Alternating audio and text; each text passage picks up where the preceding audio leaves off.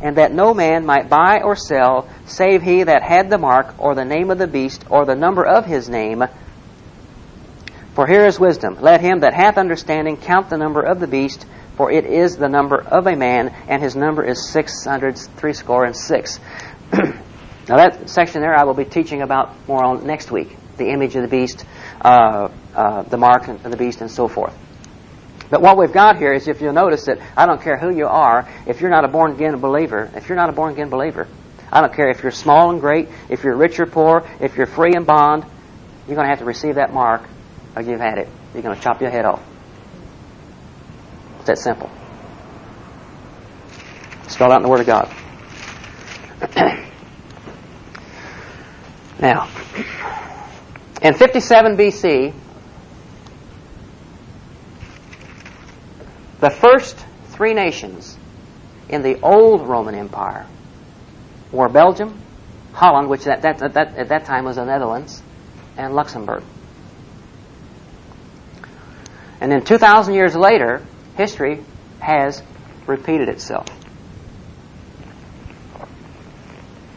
In 1948, we had Belgium, Holland, and Luxembourg starting in the, the common market. So now we've got three. In 1957, we had Italy, France, and West Germany. So now we've got six. In 1973, we had Great Britain, Ireland, and Denmark. So now we've got nine. 1981, Greece joined the common market. So now we've got ten.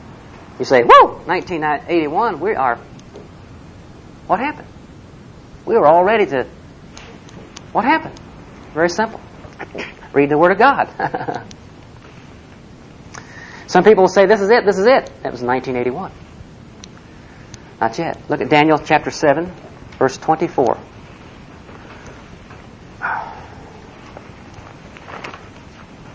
Daniel chapter 7, verse 24.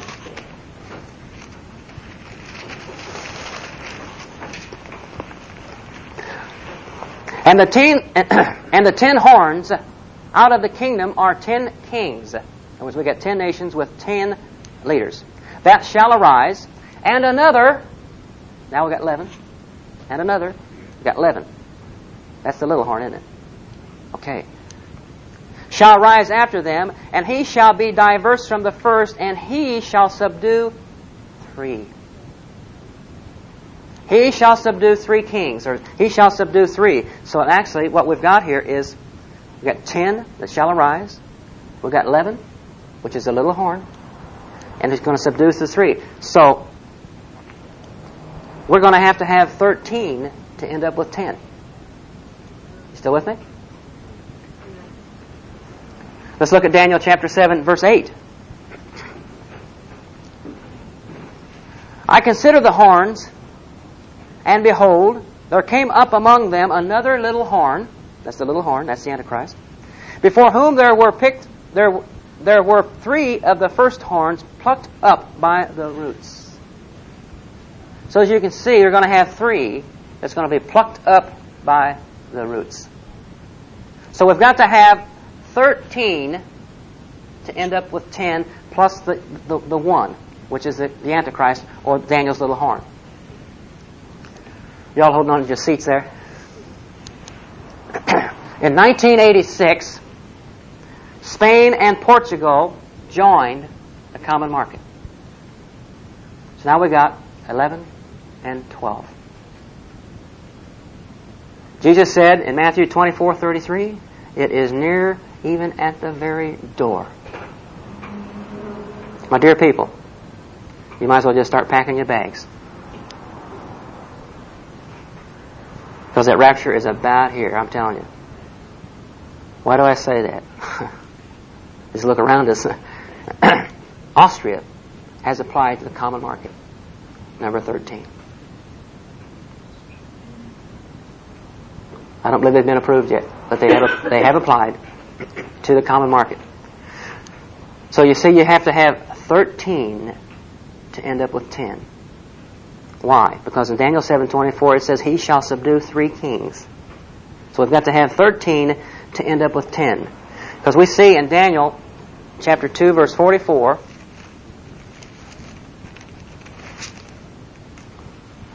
and in these, uh, in the days of these kings, and in the days of these kings shall the God of heaven set up a kingdom which shall never be destroyed. Talking about the second coming of Jesus Christ. In the day of these kings, what kings? These ten kings. These ten nations. You see, the common market, or the ten, is the, the, the launching pad for the Antichrist, and it's about ready. As you can see, as you can see, everything that we've gone through these past three weeks, we are in the last of the last days. We are the raptured generation concerning Israel. Ezekiel 38 and 39 are being fulfilled right in front of our eyes on a daily basis. You turn on, and isn't it, I ask you this, turn on TV. Isn't Russia getting worse? More dictatorship, more authoritarianism, Getting worse? Getting worse? You watch. The European Common Market, in other words, the geographical area, which is which is the forerunner of the, the Antichrist kingdom, is within the boundaries of the revised Roman Empire. If you were to look at it. That lines up totally with the Word of God in the book of Daniel. If you start looking at all these kingdoms, it's right there.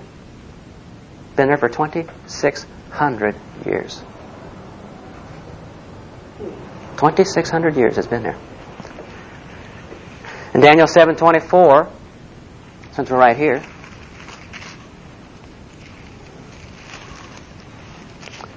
the Word of God says, And the ten horns out of the kingdom are ten kings that shall arise, and another shall rise after them, and he shall be diverse from the first, and he, meaning the Antichrist, shall subdue three kings. He, meaning the Antichrist, which is Daniel's little horn. I will be teaching on that a little bit more. Now, as a born again believer, first of all, turn with me to Second Thessalonians.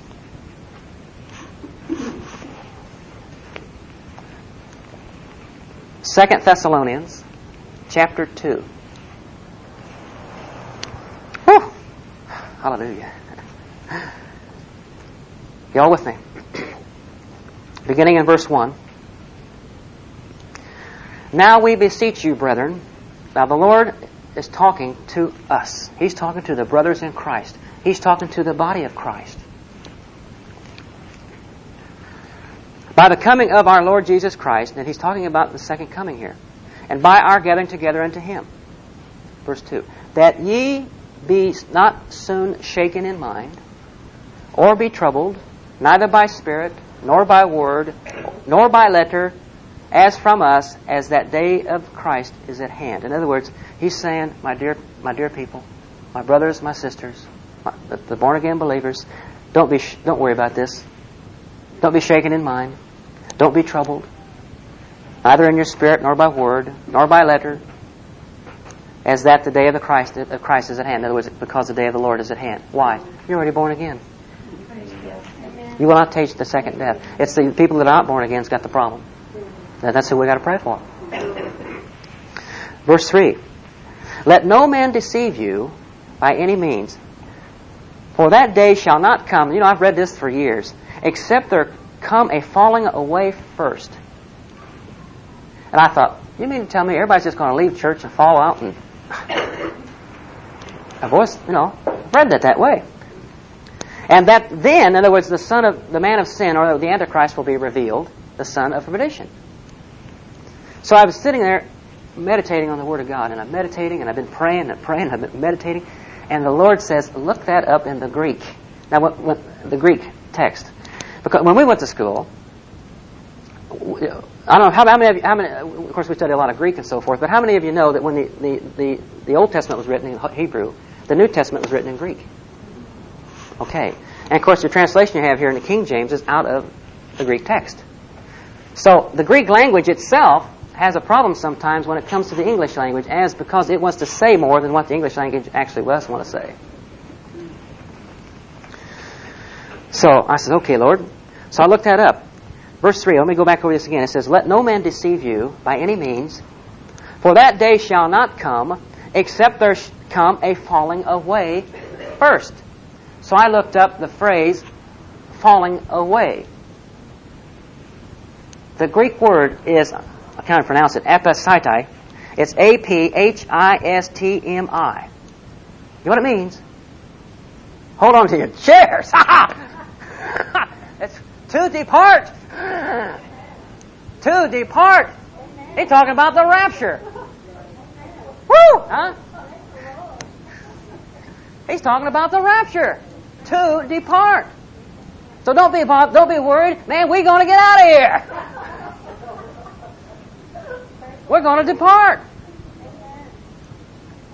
I'm telling you, I couldn't hardly sit down after that one. now, for the new people, maybe don't aren't familiar with the Word of God. When they're talking about the rapture uh, that, that, we're talking about here in Second Thessalonians, uh, verse four, uh, chapters, uh, chapter four, verses sixteen and seventeen, it says, "For the Lord Himself shall descend from heaven." With a shout, with, a, with the voice of the archangel, and with the trump of God, and the dead in Christ shall rise first. Then we which are alive, that's us, and remain shall be caught up. We're going to depart. Together with them in the clouds to meet the Lord in the air, and so shall we ever be with the Lord. So, my dear people, we're going to depart. We're going to depart. Uh, so, in other words, no one will know. Uh, although I'm teaching about the, like the Antichrist and all that, you're not, we're not going to know who he is or anything else. Really, it's not going to happen. We're not going to be here. So don't worry about it. Don't fret about it. Don't do any of these things, you know. But you do need to know that you can tell others. See. So, the, the uh, identity of the Antichrist will uh, will not really be known until the seven-year tribulation begins, which will begin when we depart. I can tell you right now that he is alive today and he is being, being, being prepared for his work. There's no doubt about it. The opening of the first seal in Revelation chapter 6, verse 1, marks the beginning of the seven, the seven year tribulation because what it boils down to is that's when the Antichrist is loosed. And so on the first seal. It talks about a, a, a man on a white horse coming and so forth. A lot of people always thought that was Jesus. Well, no, it's not Jesus because the Lamb is Jesus. He's, that's who's opening the seals. See? So it's this, it's this very successful um, person that will rise up, and then he will be, in essence, he will be possessed by the, the spirit of uh, the devil, you know, the Antichrist. Hallelujah. I want to keep reading here, show you a few things here. In Second Thessalonians again, keep reading here.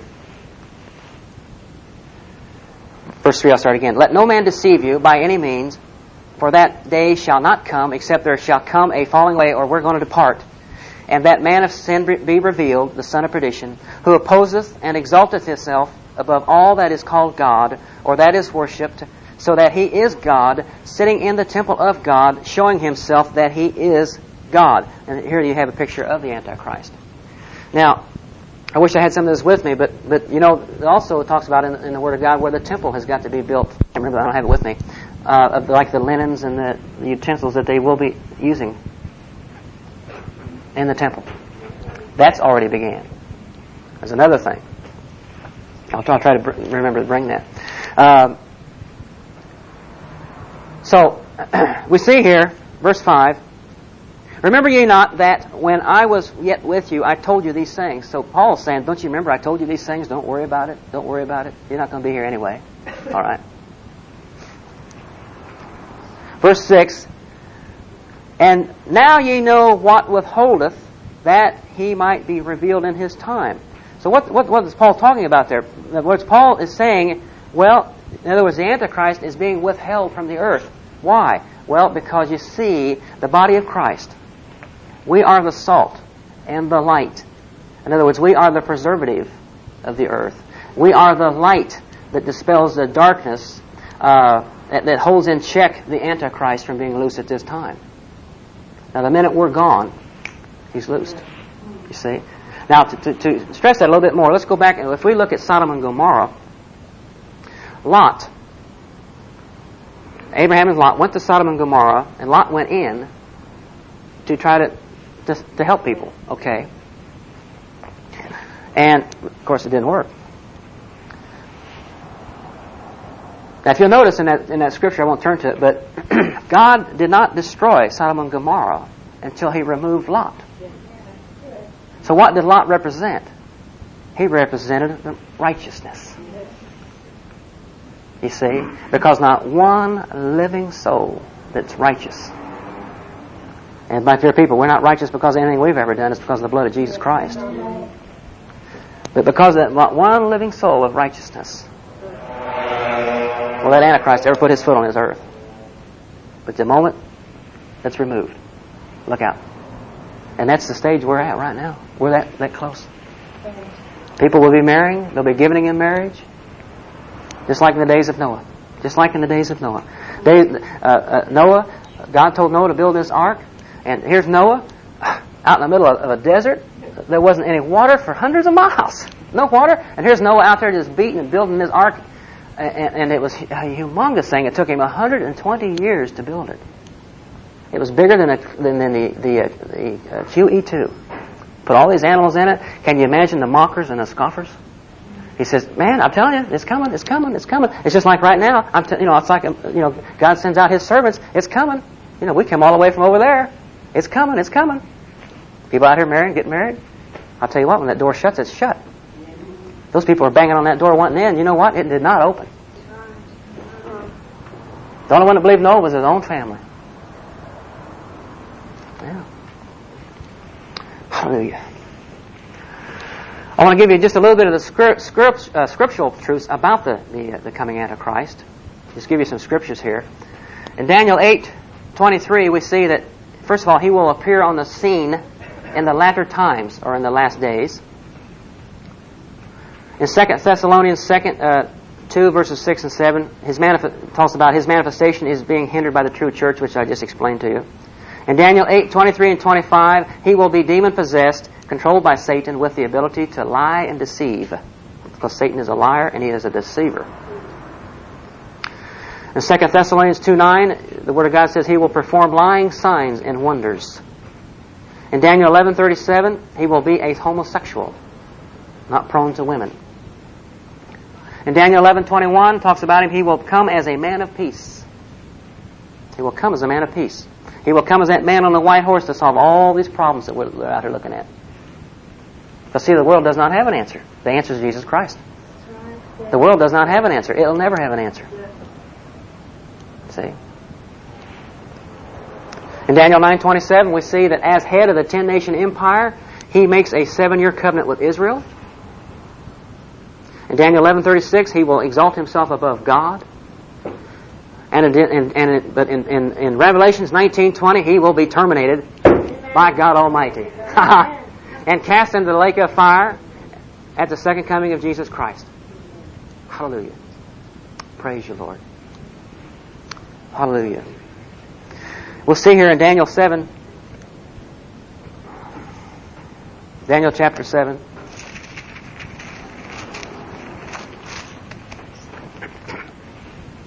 verses 13 and 14.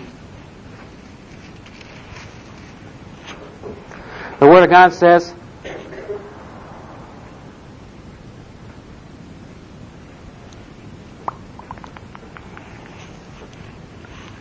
I saw in the night visions, and behold, one like the Son of Man came with the clouds of heaven, and came to the Ancient of Days, and they brought him near before him.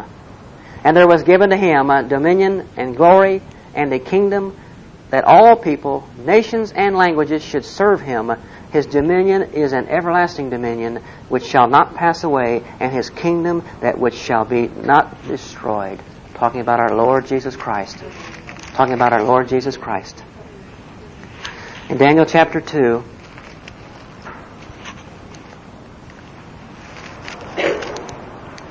sign my right here. Verse 35, we see, and we're talking about our Lord Jesus Christ here, we see that He's called the stone that smote the image and became a great mountain and filled the whole earth. In Daniel 2, verse 44, we see, And in the days of these kings shall the God of heaven set up a kingdom which shall never be destroyed. We see also in Daniel 2:45, hallelujah. And the dream is certain, and the interpretation thereof sure. Behold, I lay in Zion for a foundation, a stone, a tried stone, a precious stone, a sure stone, a sure foundation.